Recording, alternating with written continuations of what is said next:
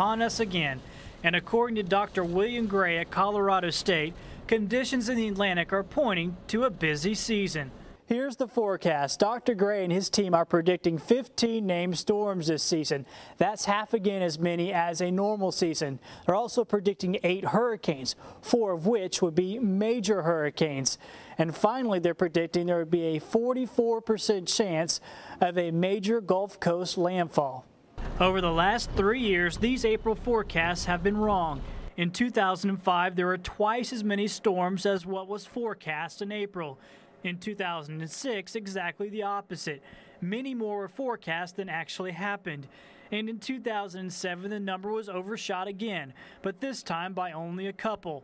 To be fair, the three years before those, the forecasts were much better. And in the end, a lot of this is about awareness. Even if the forecast for this season is wrong, it's got you thinking and hopefully planning. Two months before the season has even begun. In Mobile, Matt Barrentine, Fox 10 News.